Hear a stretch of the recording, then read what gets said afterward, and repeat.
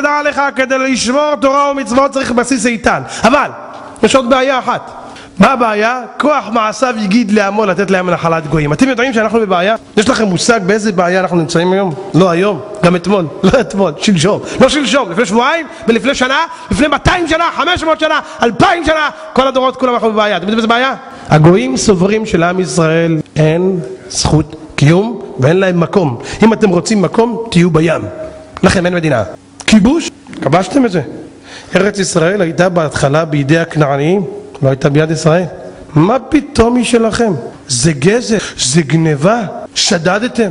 עד היום יש שמאלנים, אומרים, שמע, חבר'ה, זה כיבוש, מדיניות כיבוש, צריך להחזיר גבולות 67, גבולות 48, גבולות לפני 400 שנה, גבולות שתלכו לים, גבולות, אין להם גבול בכלל. תשמעו מה אומר רבי יצחק, שאם יאמרו אומות העולם לישראל, ליסטים אתם, בואי הנה אתם גנבים, שכבשתם ארצות שבעה גויים. חבר'ה, זה לא שלכם, ישבו פה לפניכם גויים, מה פתאום, כי אתם כבשתם את סיחון, את עוג, מי התיר לכם?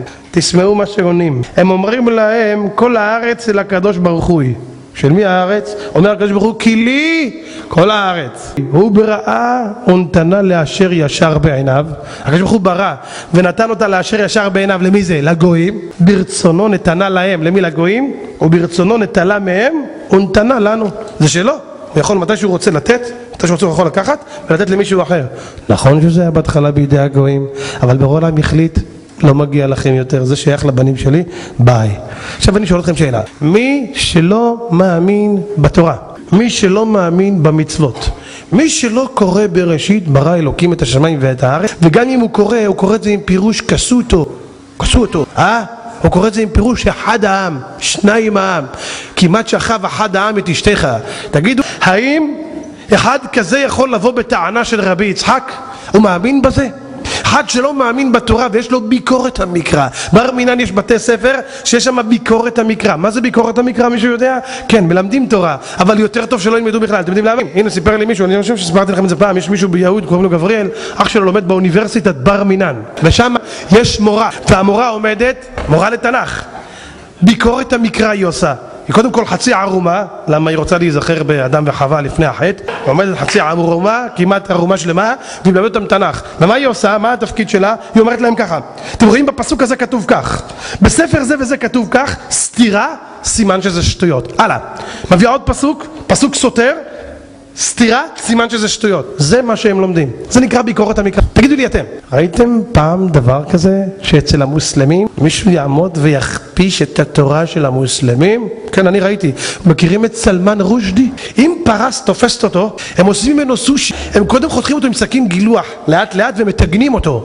כי הוא יצא ביציאה אמיתית אמנם על כל השטויות שיש באסלאם, ומה שיש בתוך הספר הזה שלהם, והם מחפשים אותו. אני רוצה לראות גבר שם שיפתח את הפה שלו על האוויליות שלהם, אפילו שהם יודעים שזה שטויות. כאן אצלנו באים אנשים במכפישים את התורה. עכשיו אני שואל שאלה, איך אתם חושבים שאדם בלי תורה יכול בכלל לנסות לחשוב שהארץ הזאת שייכת לנו? מכוח מה? שכבשנו את הפלסטינאים? היו פה לפנינו בריטים, היו פה טורקים, היה פה גיהנם היה פה. תגיד לי, מי אמר שזה שלך?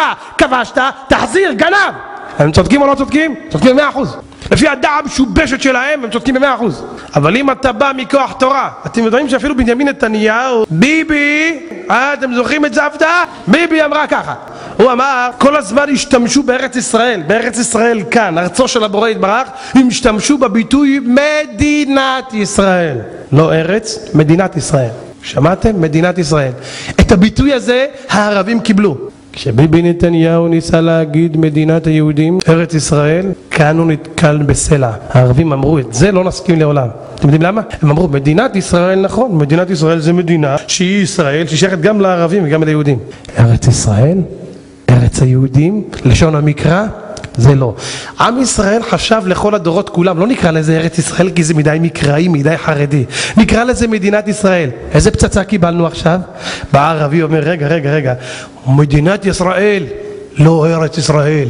לא, זה שלנו.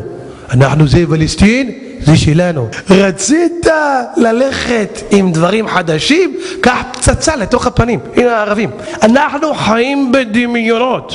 תראו כל השמאלנים, האנשים הכופרים הריקים והבורים האלה מתורה, בורים, מושטים וקרפיונים, מכל סוגי הדגים שאתם מכירים, כל הליצנים האלה, אין להם מושג ולו לרגע במה שכתוב בתורה וגם במה שכתוב מן המאמינים. הוא יכול לבוא להגיד באמת שהוא אכפת לו מירושלים?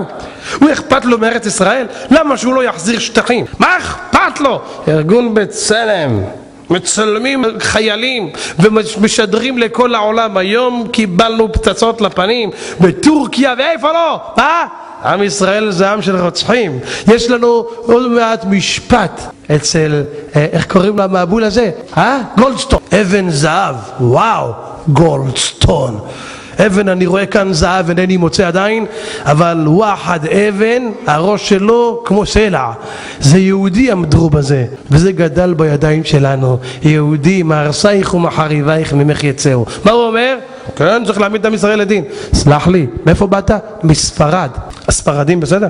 אתם יודעים מה הספרדים עשו לעם ישראל במרוצת הדורות? מישהו יודע קצת היסטוריה? אינקוויזיציות, גירושים, מה לא?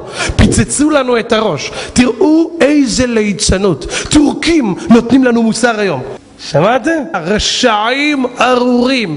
אין לנו אמונה באף אחד. תדעו לך אם עם ישראל לא מתחבר אל הבורא הוא אומלל. טורקים שלפני כמה שנים שזוכר את הרעידת האדמה הנוראה שהייתה בטורקיה מי הראשון שהלך לעזור להם? הפריירים מדינת ישראל. הלכו להציל אותם. שלחו להם פה יהודים אורז קמח. אני הייתי שולח להם קצת גמרה על עכברים גם את זה הייתי שולח להם קצת. רשעים ארורים. תראו כמה הם כפויי טובה. חברים שלנו אה? בבקשה. טורקים אנטישמים שונאי ישראל. אני אמרתי לכם זה כבר מזמן, לאט לאט אתם תגלו איך כולם שונאים אותנו. לצערנו, מה שאמרתי מתממש יום אחרי יום יותר ויותר חזק. אתם יודעים למה? בורא עולם אומר לעם ישראל כנראה שכחתם מי כאן הבעל הבית. אני אזכיר לכם.